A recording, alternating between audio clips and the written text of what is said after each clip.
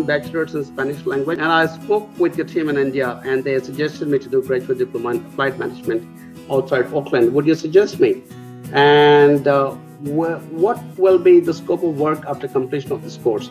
My IELTS score was six overall. Obviously, you know, my team would have probably already given you some advice, but you are asking me for my advice. I'll give my advice.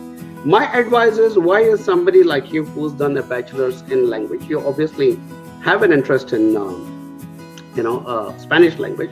Otherwise, why would you do a three years course in uh, Spanish language? But then it looks like you're now opting to do something in management. So uh, I don't know, unless you've decided that there isn't a lot of scope for Spanish language. And I'll be honest with you, man, there may not, may not be a lot of scope for you in Spanish language here in New Zealand as well, because I have personally not come across a lot of uh, uh, requirement uh, for you know Spanish language related kind of uh, options opportunities here in New Zealand. There is a lot of Filipino migration that's happening to New Zealand at the moment, so probably there is some element of work to be uh, figured out in terms of uh, translation bureaus and so on and so forth. But it could be very narrow and might be too too narrow. And probably that is the reason my team decided to suggest to you instead uh, something in management where you could possibly join a company which has got some dealings with the Spanish speaking world. And so obviously your uh,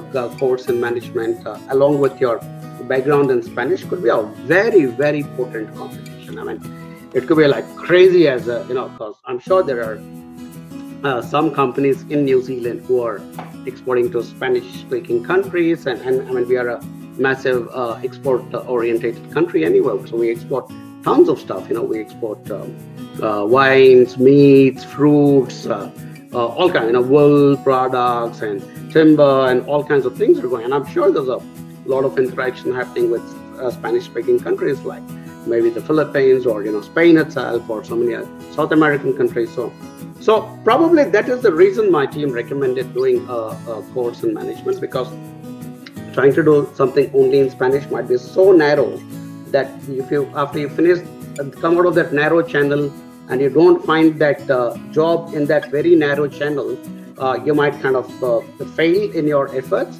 But if you're doing something wider, like management, for instance, uh, there is a very, very good chance that because it's much wider in terms of the opportunity scale, you might be able to pick something in admin or sales and marketing or uh, you know finance or so on and so forth, all the different aspects of uh, management. So that's probably the reason my team uh, recommended this to you.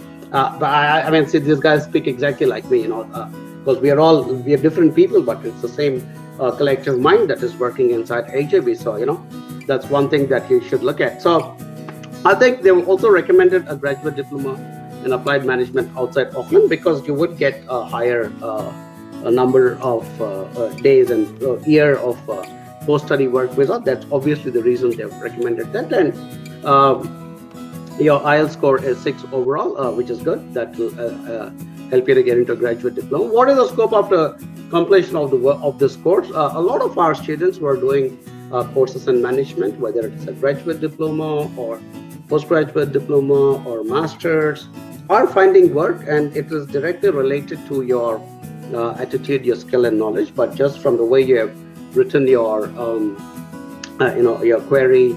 Your english is good. I don't see any uh, spelling mistakes in that. And and also you know somebody who's done something in uh, who specifically went and did a course in spanish language is you know somebody with a very different mindset. It's not often you come across people, uh, you know, young people like you from India who go and do something in Spanish language, which is brilliant. I mean, so hats off to the fact that you're definitely not one of those people who's uh, part of the herd and you kind of try to create your own pathway. And now, of course, you want to create an opportunity in New Zealand. And because of that, my team is trying to recommend here something that is not too narrow, but a lot wider so that your opportunity scale uh, is wider. And within that, uh, wider opportunity scale it's also the fact that you have a massive asset like your Spanish language. So overall looks good. And end of the day, you're also working with AJ, which is fantastic.